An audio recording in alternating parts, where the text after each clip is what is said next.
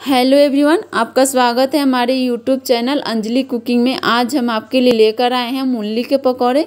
पकौड़े तो आपने बनाए होंगे, लेकिन सिर्फ़ पत्ते का बनाए होंगे, पर आज मैं आपको बताऊँगी कि मूली और उसके पत्ते का पकौड़े कैसे बनाते हैं, और इसको बनाना भी बहुत ही आसान होता है, और इसका जो भी इंग्रेडिएंट्स वो आप सबके घर में इजीली मिल जाएगी। तो चलिए फ्रेंड्स मूली के पकौड़े बनाने की रेसिपी शुरू करते हैं। हमने यहाँ पे मूली को अच्छे से कद्दूकस कर लिया है और इसको हमने वॉश भी कर लिया था। अब हम यहाँ पे नरम पत्ते लिए, इसको भी हमने बारीक काट लिया इसको भी हमने वॉश कर लिया था। अब हम एक बड़ा सा बाउल लेंगे, उसमें हमने एक लीटर पानी ले लिया है। अब हम डालेंगे इसमें मूली के पत्ते और मूली को, और इसको हम थोड़ा देर बॉईल करेंगे। अब हम डालेंगे इसमें नमक। जब तक हमारा मूली बॉईल होगा, तब तक हम चावल की तैयारी कर लेते हैं। तो हमने यहाँ पे सौ ग्राम चावल लिया है, इसको हमने आधे घंटे पहले ही पानी में भिगो लिया था। अब हम इसको अच्छे से पीस लेंगे। बिल्कुल बारीक पीसना है। और ये देखिए हमारा मूली भी बॉईल हो गया अब हम गैस को ऑफ़ कर देंगे इसको रूम टेम्परेचर में रख देंगे ठंडा होने के लिए। और देखिए हमारा मूली जो है, अच्छे से ठंडा हो गया। इसमें का पानी हमने बिल्कुल नहीं छोड़ लिया। अब हम डालेंगे इसमें हरी मिर्च, बारीक कटा हुआ। हरा लहसुन, बारीक कटा हुआ। हरा प्याज, बारीक कटा हुआ। नमक अपने स्वाद के अनुसार ही डालना है। अगर आप ज़्यादा नमक खाना चाहते हैं तो और डाल सकते हैं, थोड़ा खाना चाहते हैं तो कम कर सकते हैं। अब हम डालेंगे इसमें हल्दी। तो हल्दी हमने यहाँ पे डेढ़ टेबल स्पून लिया है। काली मिर्च हाफ़ टेबल स्पून, जीरा वन टेबल स्पून। अब हम लेंगे इसमें बेसन। बेसन हमने वन कप लिया है। अब हम डालेंगे इसमें बारीक पिसा हुआ चावल। चावल से पकौड़े जो अच्छे और क्रिस्पी होंगे और बहुत ही टेस्टी होंगे। इन सबको हमने मिक्स कर लिया है।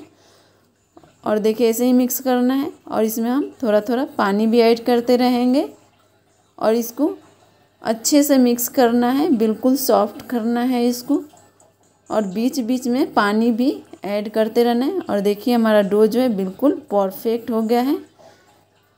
और देखिए इसका जो कंसिस्टेंसी जो है बिल्कुल परफेक्ट है पकौड़े बनाने के लिए। अब हम एक कढ़ाई लेंगे, इसमें हम रिफाइन ऑयल डाल देंगे। आप चाहे तो सरसों का भी यूज़ कर सकते हैं। और देखिए हमारा ऑयल जो है, अच्छे से हीट हो गया है। अब हम इसमें एक एक करके सारे पकौड़े को डाल देंगे और गैस को हाई और मीडियम के बीच में ही रखना है। गैस को ज़्यादा हाई भी नहीं करना है और लो भी नहीं करना है। अगर हम गैस को ज़्यादा हाई कर देंगे तो उस पकौड़े जो है, नीचे से जल जाएँगे और वो अच्छे नहीं लगेंगे स्वाद में। टेस्ट भी उसका ख़राब हो जाएगा। और देखिए, ऐसे ही करके हमें पकौड़े को फिर से दूसरी तरफ़ से सेक लेना है और हमें बीच बीच में पकौड़े को हमेशा पलटी करते रहना है कि हमारा पकौड़ा जो है अच्छे से सेक जाए और ये बहुत ही क्रिस्पी होते हैं, बहुत ही टेस्टी होते हैं और ये सेहत के लिए बहुत ही फ़ायदेमंद भी होता है और देखिए हमारा पकौड़ा जो है बन के रेडी हो गया है।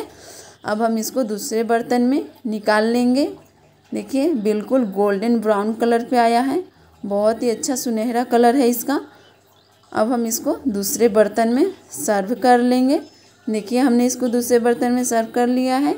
अगर आपको मूली के पकौड़े बनाने की रेसिपी अच्छी लगी हो तो प्लीज़ आप भी एक बार ट्राई कीजिएगा और अपने फैमिली एंड फ्रेंड्स के साथ ज़रूर शेयर कीजिएगा।